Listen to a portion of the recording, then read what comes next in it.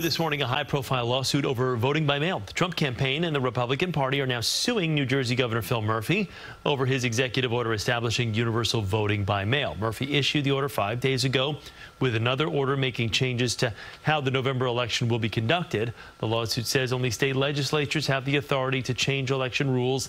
It claims Murphy's orders were illegal and should be immediately halted.